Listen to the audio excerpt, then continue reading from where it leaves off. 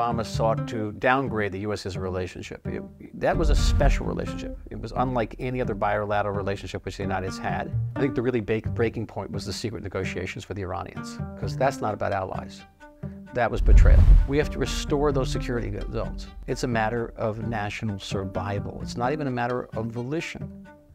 And yes, the world is going to condemn us. And yes, there's going to be extreme tensions and maybe even breakdown in relations with uh, the United States. But at the end of the day, we have no choice, Matt. And if we have to throw rocks at these people, we will.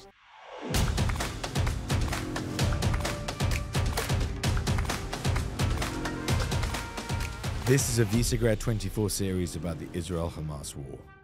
Today we are here with Ambassador Michael Oren as we continue our podcast series, the Visegrad 24 interviews in Israel. It is great to be with the former ambassador of Israel to the United States, who happens to be from the United States, which that in and of itself is an interesting story that we will discuss, among other things. In fact, let's lead off with that.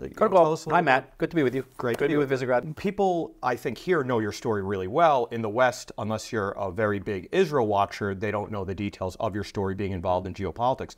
Give us a little bit of background.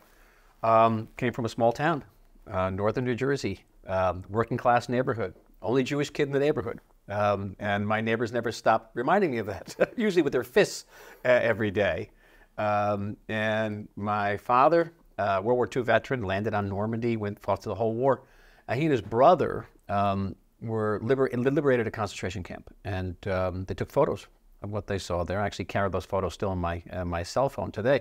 And every time I'd come home, all bloody and having been called a, a Christ killer, my father would open the album of these pictures and show me the piles of bodies and the crematoria and would say, You see that, son? You see that? That's why we need a strong state of Israel. Now, if you got a bloody nose, you're nine years old, that has a big, big impact on you. I grew up in the period of the, the Six Day War. You know, we all remember the big victory, dancing at the, the Western Wall. That's not what I remember. I remember the three weeks before the Six Day War, where um, Israel was surrounded by Arab armies. No one was going to do anything. The United States wasn't going to do anything. And we thought we would witness, uh, there would be a second Holocaust in one generation. In the sense that, okay, the Jews have to rely uh, on ourselves, only on ourselves. And I just, from the earliest days, just wanted to live here. So when did you first visit here? I lived when I was 15 and uh, alone back then when Israel was the Wild West back then. There was, nothing, there was nothing here. nothing. There was the, there were no restaurants. Uh, even the falafel was bad. Um, and, and the worst thing was with no central heating. There was no heating. You had to heat up your water with kerosene.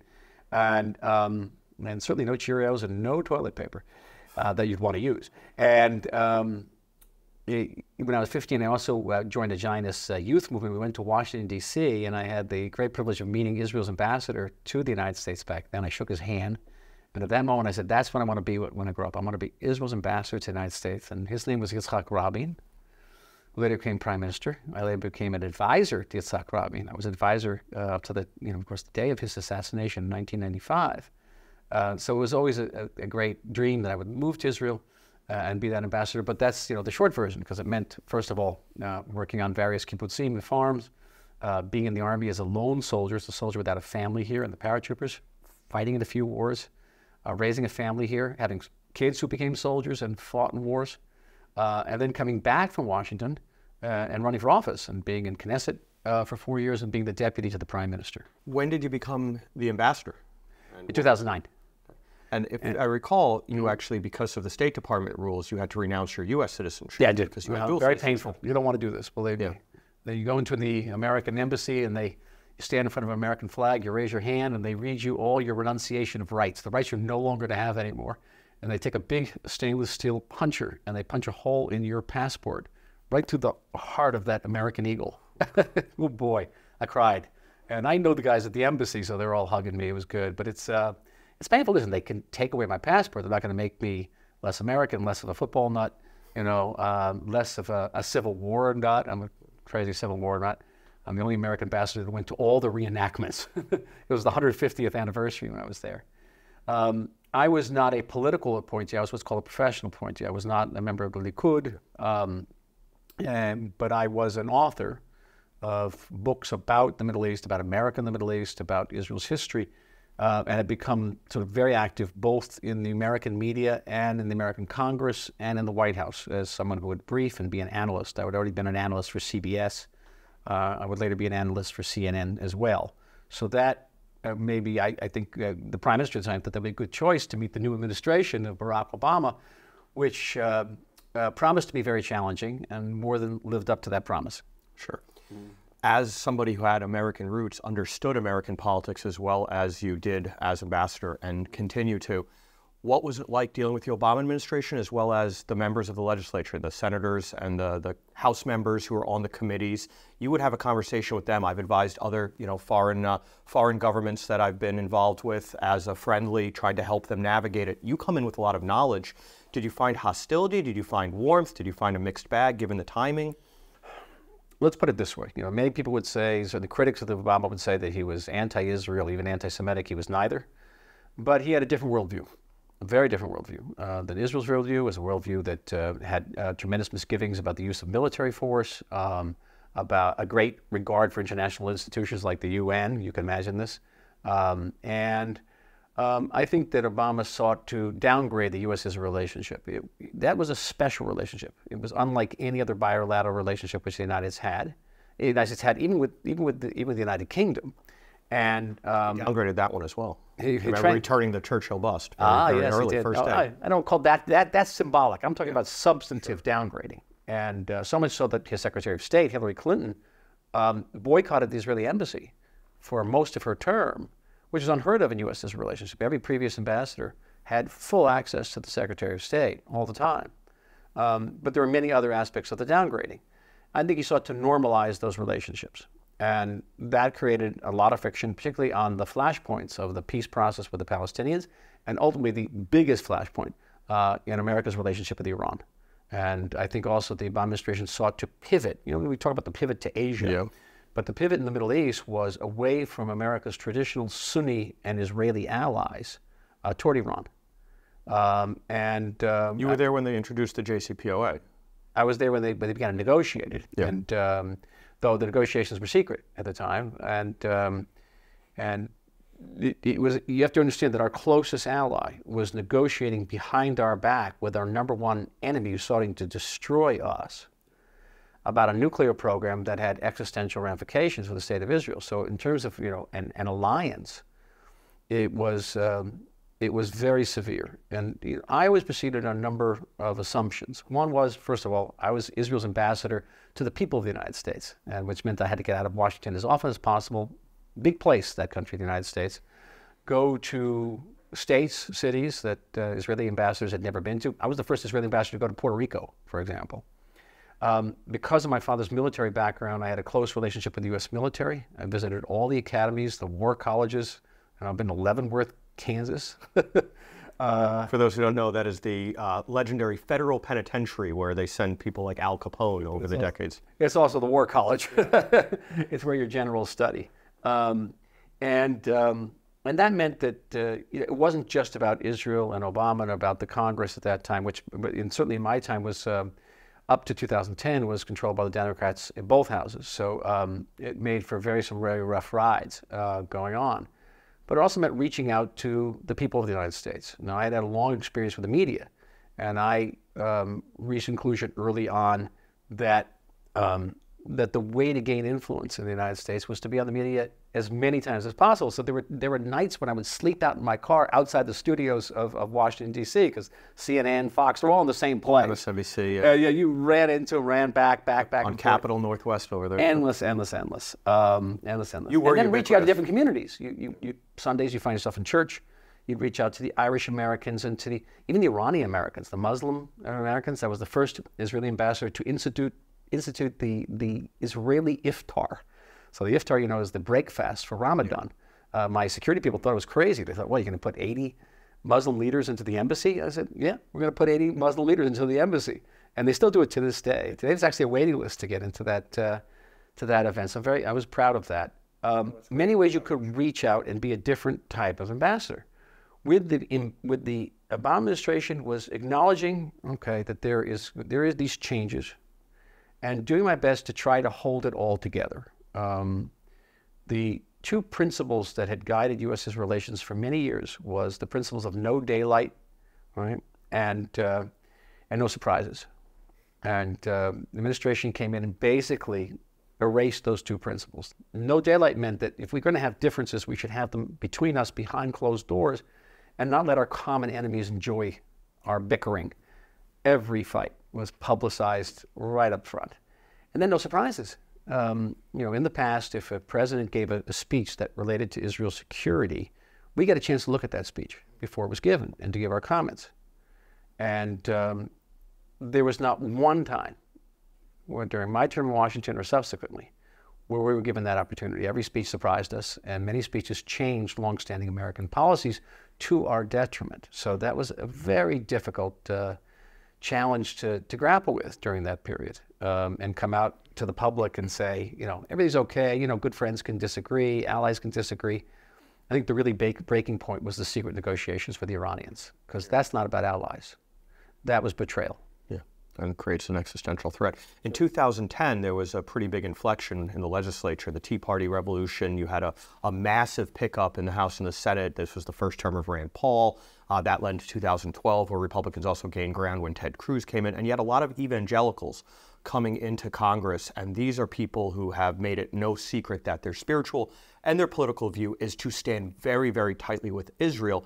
But you can juxtapose this with a lot of Dems who have most of the Jewish Demo, Jewish high-level politicians have been of the Democratic Party. So how did you navigate that? How did you not easy? Yeah, no, I know. They're, they're, I forget my first meeting with the uh, with the Democratic uh, members of Congress and the, the, Jewish Democratic members of Congress. And I expected, after a very rough time with the White House, to come in and get a little bit of, of warm love.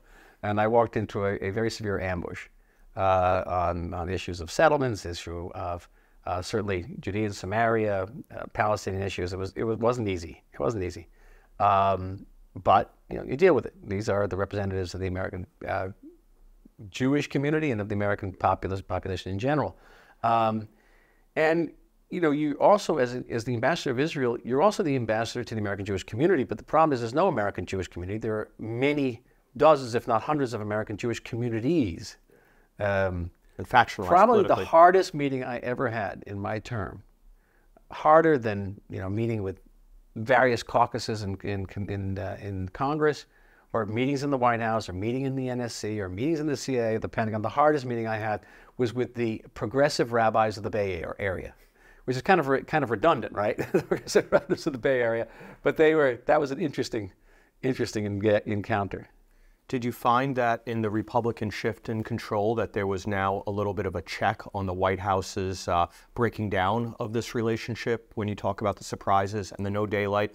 Uh, did allies coming from these evangelical communities and these sort of big R, big C conservative Republicans, did they start to try and bring it back as much as they could? They could, but listen, under the, under the Constitution, uh, foreign policy is almost exclusively the purview of the executive.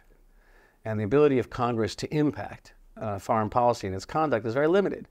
It's pretty much limited to issues of you know appropriations, and we had no problem with appropriations. And we got funding for Iron Dome, and I was proud to bring the funding for Iron Dome. Uh, we began the process of acquiring the F-35 jet, um, and really no complaints about Congress whatsoever. I used to say, uh, you know, we have we have the Iron Dome, but above the Iron Dome is a is a marble dome, and the marble dome of the Capitol. And uh, but with the administration, again, it was. Um, I must say this about the about the administration: they would always, almost always, meet our our um, financial or philanthropic expectations. So we came to them and said, "Listen, we need help with Iron Dome, or we need help with a so putting out the Carmel fire." Mm-hmm. Okay, that was in December 2010. It was a very dangerous fire here. Um, but on the policy level, and certainly on the diplomatic level, um, they were going to come at us and come at us very fast. How many years did you serve as ambassador? Almost five. Because you overlapped a little now into the Trump term. No, I did not. Oh, you did not. Okay, because I, I, met did you the second term of Obama. Okay. And because uh, I met you in D.C. during Trump's term. Yeah. No, but I served as an advisor to the Trump peace plan. Ah, okay. Yeah, that's why. Meeting you at the and uh, White House. I was involved in the early party. stages of what later became the Abraham Accords. Yeah. So let's flash fast forward a little bit to Trump's term, and now trying to recalibrate first on Iran. Uh, obviously, uh, trying to renege on that deal, which I think many people on the right thought was appropriate, uh, myself included, uh, and trying moving the embassy, for instance, really trying to realign in a close way, again, both spiritually and philosophically and politically, geopolitically. Right. and recognizing the sovereignty of the Golan Heights. That was a big issue for me because in Knesset, I, I, I established the caucus for Israeli sovereignty and development of the Golan Heights. And so I was uh, in the White House more than once um, seeking American recognition of the Golan Heights, which was, by the way, not, a, not an easy lift because America had already recognized Jerusalem as Israel's capital. So it meant taking another step. Um, but I view that as absolutely critical because Israeli control of the Golan Heights as sovereignty is, is key not only to our, uh, our security, but to the entire region's security. In Golan Heights falls, and you've got Syria going into Jordan, going into Saudi Arabia, going into the Gulf. Um, we are blocking that by being on the Golan Heights. Um, um, the Trump era was very, very different. Very different. Um, there weren't the type of daily crises. in Washington, I had not, I had not successive crises. I had revolving crises. There'd be several in a day. Uh, so it was, it was, a it was a it was a halcyon period uh, in U.S.-Israel relations, um, and then the withdrawal from the JCPOA in 2018 which I personally uh, welcomed very much. Uh, I think the JCPOA was a, a, serious threat to Israel and to the United States and to the world. It, um, it was fall, it was presented on numerous uh, false premises. One was that it you know stopped, it blocked Iran's path to the to the bomb. It, it did no such thing. It actually paved uh, Iran's path to the bomb. Uh, and that there was no alternative to diplomacy other than war. And, uh, and the alternative to diplomacy was harder diplomacy, which the United States under that administration was unwilling to uh, undertake. Um, the problem with, his, with Trump's withdrawal from the JCPOA is that uh, he lost the election and there was no follow up to it. And um, the Iranians understood that with the new Democratic administration, there would be the attempt to return to the JCPOA. So it's interesting that the, the major, major violations, the flagrant violations of the JCPOA, which later occurred, and that is Iran enriching uranium uh, first to 20%, then 60%, and beyond, um, only occurred after, after Joe Biden's victory in, in November 2020. That's when it happened. Before that, they didn't dare do it with Trump. And I'll tell you something else. This is not to be political. Um, I am not a prophet. I want to say unequivocally, I am not a prophet. Um, on October 5th, I was, uh, this year, I was in uh, Dallas giving a talk to some real estate people. And I mentioned, I predicted that Israel would soon be at war, which got everyone to sort of gasp. And then I explained why. I said the, the Biden administration is now trying to broker a peace between Israel and Saudi Arabia. It has a nuclear component. And Iran simply will not sit quietly while the Saudis acquire a nuclear program, nuclear power. And Israel at the time was very divided over the judicial review. America was paralyzed. They couldn't even uh, elect a Speaker to the House. Um, and above all, the Iranians were afraid of the return of Trump. They were looking at the surveys, they're looking at the statistics, and they're saying he's allowed to come back. And if he comes with Biden, we know exactly what his policy is going to be toward us. Well, with, with uh, Donald Trump, we have no idea what his policy would be, would be toward us. So if we're going to stop this peace process between Israel and Saudi Arabia, the easiest thing to do would be to start a little war. And uh, it seems to be very, very clear. Now, we haven't found the smoking gun that says that Iran started this thing, but there's a tremendous amount of circumstantial evidence. And uh, when the war broke out on October 7th, two days later, um, I was shocked but not surprised.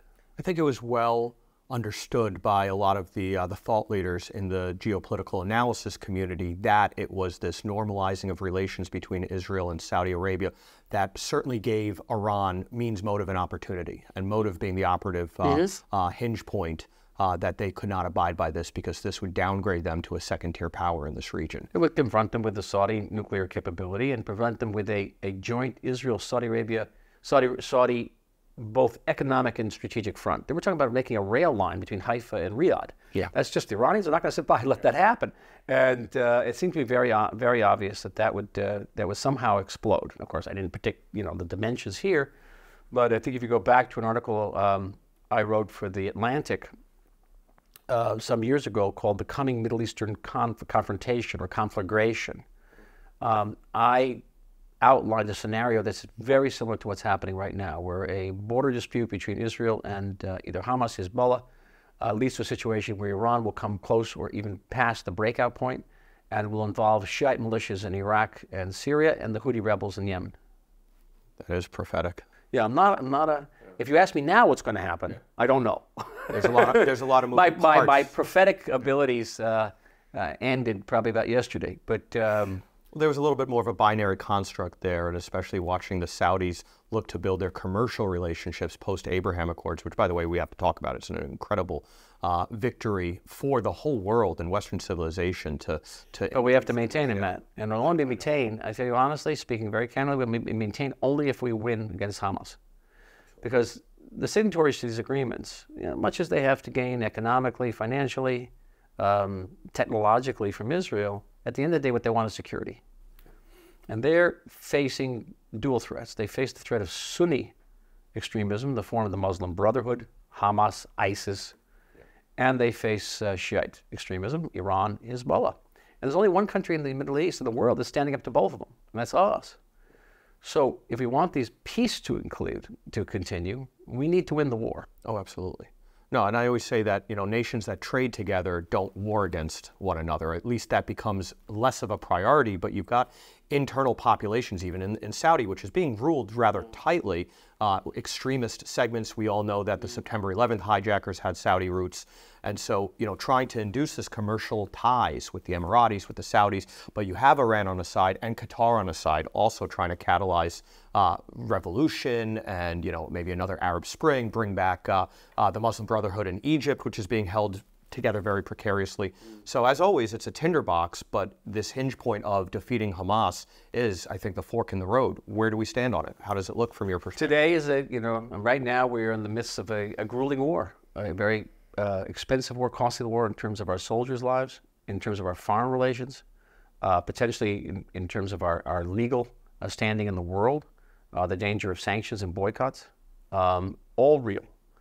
Uh, I have to quote a, a, an imminent source uh, for you. No, no one you know. Uh, the source is my barber, um, who was cutting my hair and said, uh, you know, the worst thing about this war, beside all the, the, death, the hostages, the suffering, is the loneliness, is the feeling that we are alone in the world.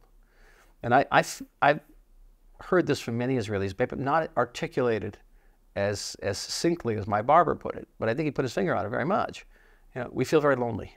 Um, not only does nobody understand us, or few people understand us, but they're, they're, they're so egregiously hostile that they even deny uh, the events of October 7th, or they actually blame us for them, or they, they accuse us of actually perpetrating them or fabricating them on with AI.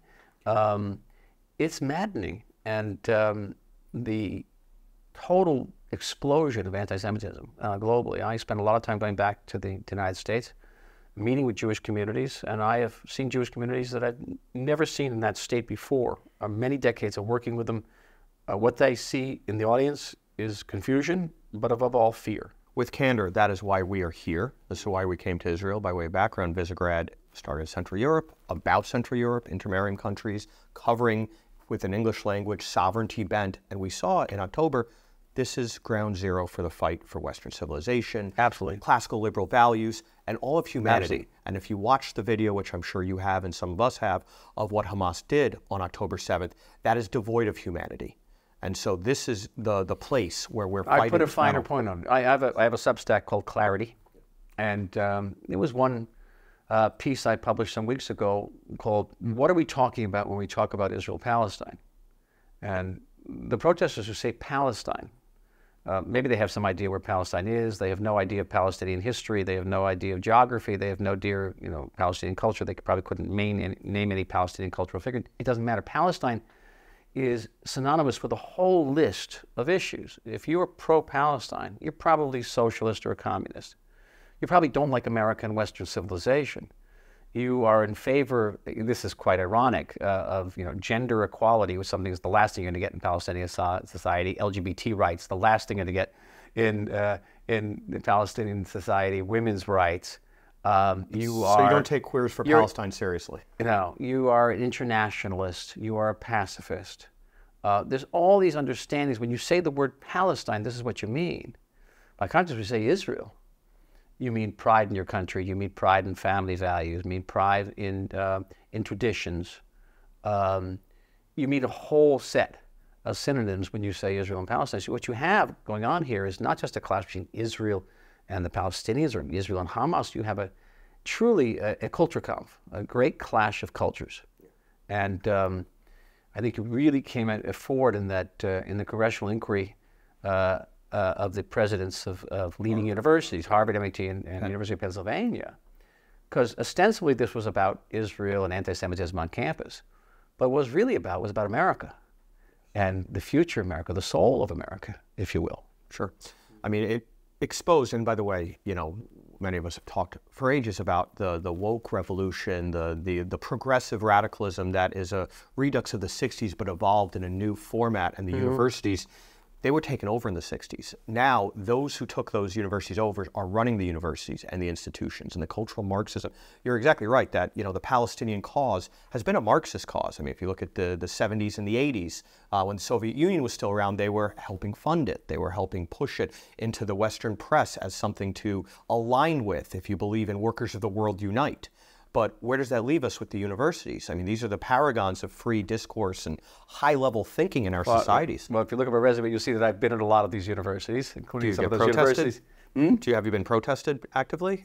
Oh no, that's protesting. I just uh, gave a talk at a Florida university, and I, they had to have several dozen policemen escort me in and out of campus, including an armored personnel carrier, which I've Florida. never had before. That's a, that's a new that's record. Florida. Florida is actually better than most. most okay. Yeah. I don't think I can actually go on to any other campuses. Um, no, I've been a visiting professor at Harvard, Yale, um, Georgetown. I'm a graduate of some of these universities. Um, I don't know if I could actually uh, lecture at them today. It'd be very, very difficult and probably problematic for the university itself. But I will tell you that these universities are the last place the last place in America where you have freedom of expression. And, uh, and the, the only place that people have freedom of expression, the issue is uh, on Israel Palestine. All of a sudden, they have freedom of expression. Um, even going to teach at some of these universities years ago, I was given lists of words and phrases I couldn't use. And, uh, and I get in trouble. And uh, so it was the last place. And I don't, I don't think I'd survive very long on these campuses today.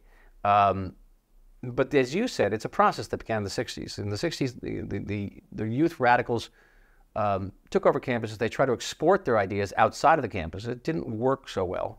And so they went back into the campuses and closed the gates behind them and devoted their energies to producing generation after generation of faculty that, um, that perpetuated these ideas and actually radicalized some of these ideas. And um, I remember meeting some PhD candidate in uh, in the art history department of Harvard, and I said, "Are you ever going to get tenure?" He says, "No way." I said, "Why not?" He says, "Well, I'm not a Marxist, so you couldn't get tenure in the art history department of Harvard uh, unless you're unless you're a communist." Uh, what is that telling you? What, that, what, does communism have to do with art history? So um, everything, everything. Uh, well, this is even some years ago already. So this didn't start. This did not start yesterday. No, no, this no, is a long process. Allan Bloom and wrote on, I actually, yeah, I remember, you know, I was influenced by Allan Bloom. I actually took him around Israel. Oh, nice. Was, yeah, yeah. I mean, this guide around Israel. Uh, and uh, so for the audience, The Closing of the American Mind is one of the most important books written, I think, in 80, 80, 87, 80, yeah, yeah. 87, 88, The Closing of the American Mind by Allan Bloom, a, along with Saul Bellow, the Committee on Social Thought, a incredibly prophetic professor about where academia and the ivory tower were going. He saw it back in the 80s, and I, you know, I'd come out of these universities and I saw it already and um, and it was clear that that that it was a very smart move on the part of the revolution because they understood that when people came out of these universities, they would go into uh, key positions in government and in finance and elsewhere. And um, you know, among my friends, we refer to it as the posthumous uh, victory of the Soviet Union. It's precisely what the Soviet Union wanted to do. It didn't live to see its success, but it is it's, it's an extraordinary success. Um, in my own field, uh, which is Middle Eastern history, um, there was uh, the book Orientalism by Edward Said, the Columbia professor, which is probably the most influential book in the humanities of the past 30, 40 years. It was published in the late 70s. And um, I would encounter students who, who had read Orientalism from various courses, Italian history, uh, French literature. You, you, you, you could go through four years of an Ivy League school and read Orientalism several times. And what is interesting about it is not only that it's as history, it's bunk, because the thesis of Orientalism is that the study of the Middle East in the West was designed to reduce the Middle East to a subject and then conquer it for imperialism. But it's bunk because the greatest Orientalists were the Germans and Hungarians who never coveted a piece of the Middle East. There's no German or Hungarian uh, colonies in the Middle East. But what Edward Said did was to plant what I call the sequoia of self doubt in the innermost co- courtyard of academia. And he took what I regard as the certainly the, the strongest characteristic of Western civilization, certainly Western inquiry, is to be curious about other cultures. Amazing, because you don't really find that in the world. I don't think you find that in many Asian cultures, certainly not in Middle Eastern cultures. You know, you're not going to find in, in Middle East universities, okay, Al Azhar University in Cairo, you're not going to find a Department of American Studies or American Literature, okay? So we had this, this deep in the West, a deep uh, curiosity about Middle cultures. And what Edward Said was to turn it from something positive to something absolutely evil and, and turn it into self hatred. And at the base of at the base of Orientalism and its approach is a deep self-doubt and self-hatred. And that's what you see played out in foreign policy today. Yeah. Well, let's talk for a second on foreign policy and a body that is so uh, sacrosanct in foreign policy that I'm sure you have some opinions on the United Nations mm. and their role, you know, coming out of World War One in the League of Nations, uh, then turning in, in the 40s into the United Nations and the arbiter and adjudicator of disputes. You know, it was uh, uh, from the Congress of Vienna to the 1940s and the United Nations, and now the United Nations role having dictatorial regimes having an equal vote or even a heavier vote on right. certain, you know, human uh-huh. rights councils, security committees, uh, and now their relationship so antipathetically, so uh, diametrically opposed to all things Israel. They see nothing wrong in Sudan, nothing wrong in Rwanda, nothing wrong everywhere else, but in Israel is their focus. Why is that, and what is going to be the, the move going forward? Again, this is not new. Uh, my first diplomatic role was as an advisor to Israel's uh, delegation to the UN um, a long time ago, and um, more than 40 years ago. And uh, I would go to represent Israel in various committees, and, and there'd be people in three piece suits getting up there and spouting anti Semitism. I never forget listening to an Arab representative actually getting up in, on the podium and questioning whether Jews are human beings, whether we belong to the human race. Uh, everybody was. This, on the Human was, Rights Committee? This was probably. And um, so I have, I have a sort of a ambivalent relationship with the UN, and that's an understatement. Uh, on one hand, you know, we owe a certain amount of our existence to the UN because of the partition resolution of 1947, and we shouldn't necessarily, you know, cancel our reservation, our, our membership of the UN and walk out. On the other hand, I cannot for the life of me, Matt, understand why the city of New York, home to one of the largest and most vibrant Jewish communities, allows the UN to be headquartered there. Uh, this is an anti Semitic organization, an anti Semitic organization almost on a daily basis. And uh, New York doesn't need the UN. It's a pain to New Yorkers. They hate it. Uh, they close the streets, right? I live on the east just side. Think, just think how yeah. beautiful, what a park that would be along the East River. Just really, really gorgeous. Dag Hammarskjöld Plaza. Well, yeah. It'd be great. Let the UN move to, I think, a more appropriate city like Tehran, yeah. uh, Damascus. I think, I think they'd love to have. It's other cities, Geneva, and you know we know how the Swiss have uh, viewed their role in relations, which is we'll bank the money, we'll work with whatever regime wants to domicile mm. their capital. but I, I, really don't. I don't understand. I don't understand its presence in New York. Do you think Israel, uh, Israel should maintain its position or sort of recede from it because its entire raison d'être now is rolling over Israel? No, no, it's the entire raison d'etre, but it's a lot of it. it now it is. It's a lot of it. Israel so? gets condemned more frequently than any other uh, country uh, in the world. Sometimes more than all of the countries in the world combined. Especially if you go into the Human Rights Commission. Uh, we're the only country in the world that is a subject of, of one article, Article 7 of the UN Human Rights Charter, which calls for the UN to investigate Israel for human rights violations every year. Right? Again, not North Korea, not Sudan, not any of these countries, uh, just Israel. Uh, and that's extraordinary. And that, that is, by definition, singling out Israel for uh, condemnation is, is, by definition, anti Semitism. So, um, you know, I think it, it's an open question whether should, we should remain members in that organization. But I do think it's inappropriate for the United States and certainly the city of New York to host an abjectly anti-Semitic organization. Well, you're not going to get an argument from me there. You, uh, the European Union, uh, historically, the last, you know, especially the last 10, 15 years, the votes of countries like France, like Germany, even the UK at times, uh, certainly Belgium, uh, the Netherlands have usually went toward the left and in line with the United Nations on condemnation. Brussels and Strasbourg mimicked the United Nations. Mm-hmm. Then you had Central European countries like Poland and Hungary, Czechia, Slovakia, that especially owing to their history with Jewish populations that have been there for so many centuries, uh, they were more either abstaining or sometimes voting to defend Israel. There's been a little bit of a shift actually post October 7th. How do you how do you read that? Well, the Especially shifting well before that. It- It's not necessarily about Israel. It's about uh, the rightward shift in the EU, EU and in Europe. And uh, among the EU, they have to reach a consensus. 28 states have to vote the same way. Uh, and in condemn, condemn, condemning Israel, you're going to have time, hard time today getting that consensus. You could 10, 15 years ago. Very difficult today. Um, which, by the way, presents Israel with certain challenges. Uh, I personally don't want people to love us because they hate Muslims. And there's some radical right wing uh, uh, parties in Europe that have an anti Semitic past, a fascist past. We, we are the Jewish democratic state and we have to maintain our character in that way.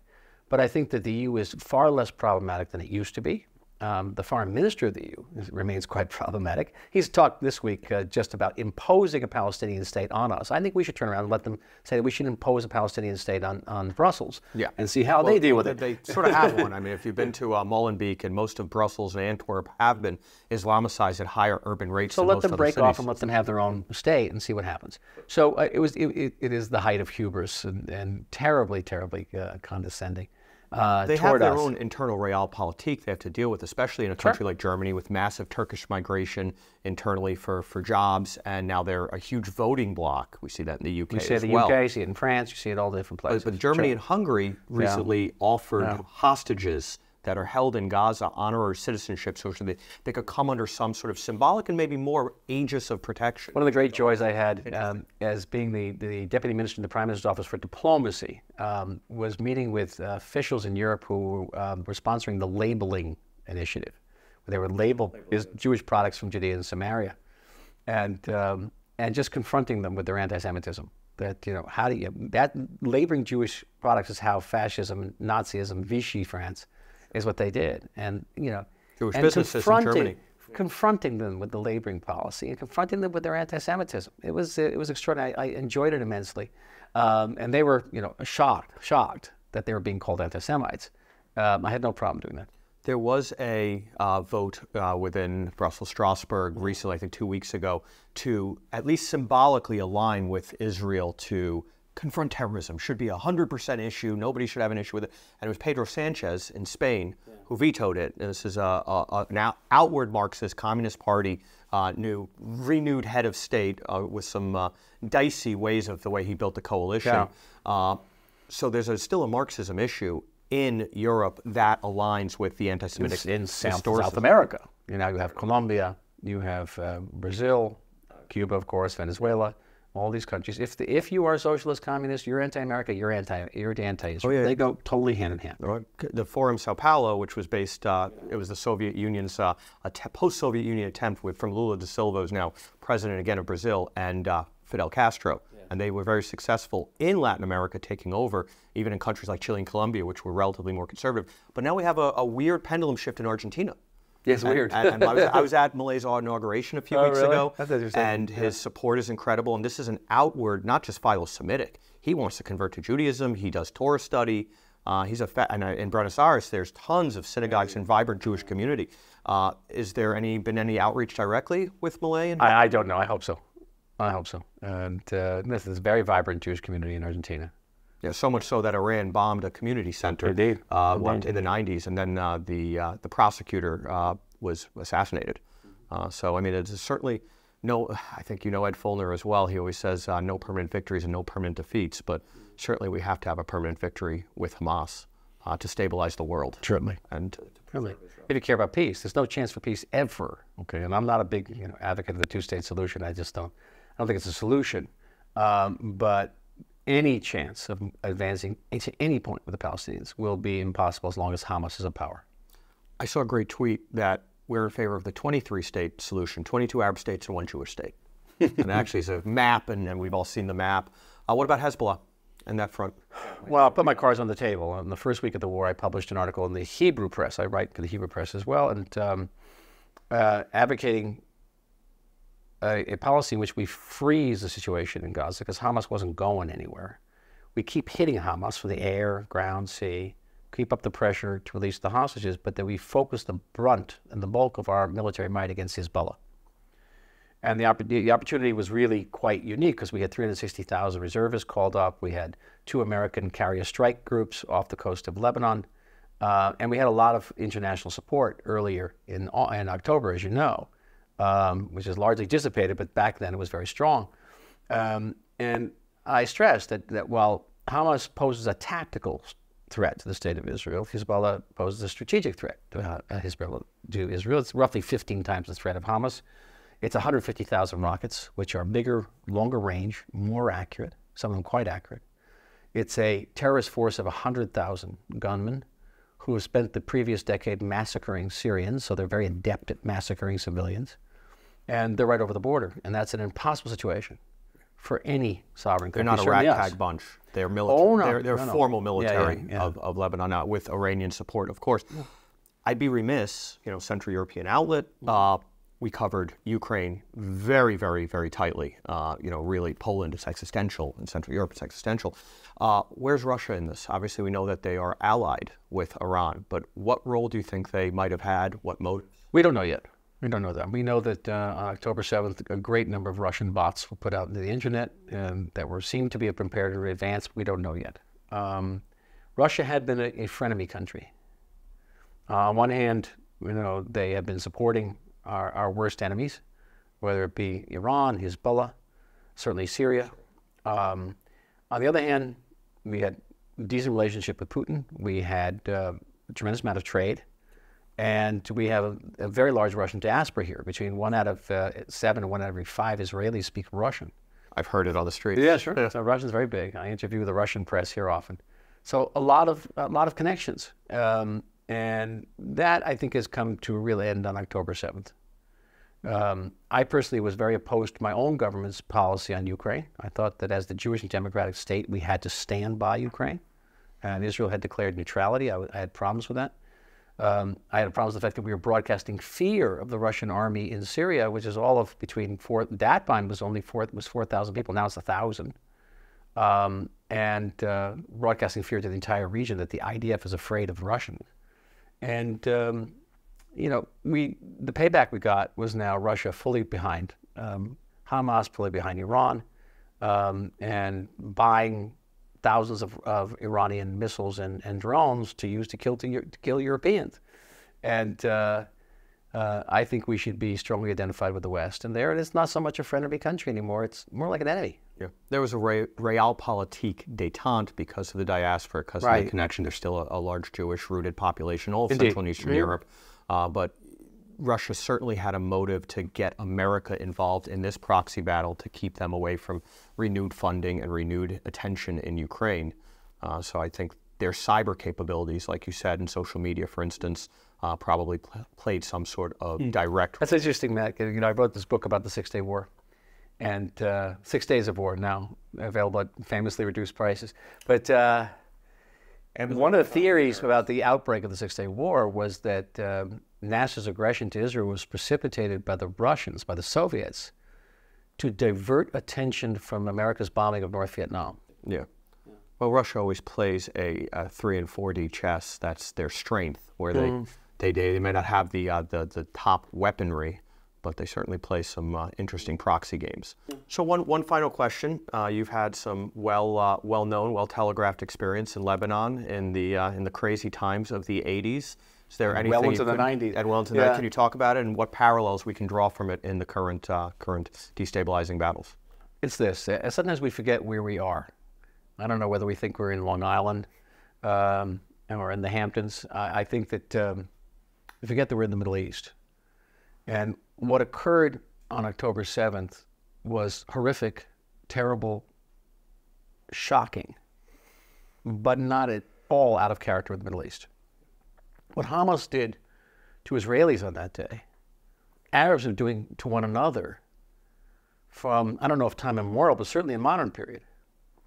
And I saw evidences of massacres and war crimes in, in Lebanon that Arabs had done to Arabs, which is really no different.